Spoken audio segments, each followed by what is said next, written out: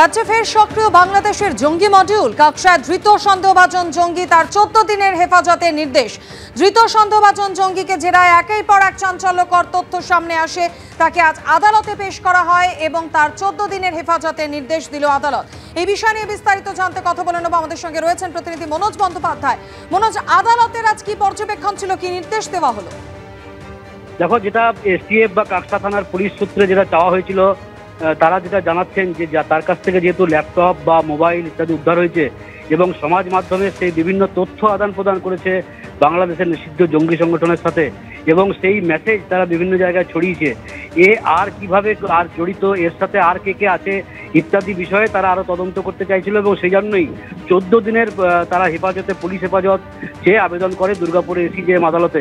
এবং বিচারক চোদ্দ দিনেরই পুলিশ হেফাজত মঞ্জুর করেন এবং আজকে তাকে চোদ্দ দিনের হেফাজতে নেওয়া হয় এবং কাকসা থানা সেখানে নিয়ে যাওয়া হয়। সেখানে এসটিএফ তাদেরকে এরপরে আবার ইন্টারোগেশন করবে এবং তার থেকে আরও অন্যান্য তথ্য জানার চেষ্টা চালাবে।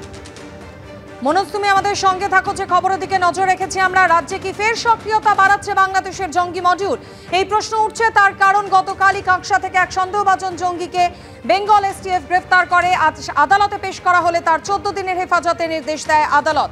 আপনাদের জানিয়ে রাখব, ধৃত সন্দেহভাজন জঙ্গিকে জেরা করে একাধিক চাঞ্চল্যকর তথ্য সামনে আসে। যেমন, মে মাসে বাংলাদেশে গ্রেফতার করা হয় দুই আনসার আল ইসলাম জঙ্গিকে। সেই ধৃতদের জেরা করে আনসার আল ইসলামের বাংলা যোগের তথ্য সামনে আসে। আনসার আল ইসলাম ওরফে সাদাত বাংলাদেশের সক্রিয় জঙ্গি সংগঠন যার সঙ্গে বাংলা যোগ সামনে এসেছে।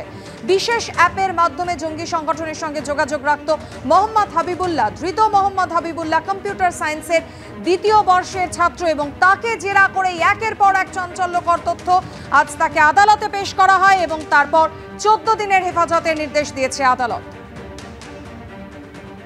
এর সঙ্গে কিন্তু এই সারাদাত মডিউল যেটা আছে এর সঙ্গে কিন্তু যোগাযোগ বার করেছে এবং এই আনসার আনসার আল ইসলাম যে মডিউল যেটা আছে, যেটা তোমার আল কায়দার সঙ্গে যেটা মার্চ করে গেছে এটা কিন্তু তারই একটা জঙ্গি নিষিদ্ধ সংগঠন। পশ্চিমবাংলায় কিন্তু একটা বিশাল বড় ফাড়া থেকে কেটেছে।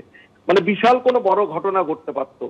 এবং এরা যেটা পাঠায় যেটা, সেটা এনক্রিপশন করে মেসেজটা করায়, সে- সেগুলো কিন্তু ওখান থেকে ওখানে যারা যারা বাংলাদেশে যার কাছে পাঠায়, তারা ডিসাইফার করে আবার। ডিসাইফার করে সেই মেসেজটা পড়তে পারে। ভীষণ জাস্টিফাইড এবং জাস্টিফাইডলি তোমার ইউএপিএ অ্যাক্টে ওর এগেস্টে কেস হয়েছে। এটা it is an incredible job আমিও বলছি ওয়েস্ট বেঙ্গল পুলিশে এসটিএফ দারুণ কাজ করেছে ভাই।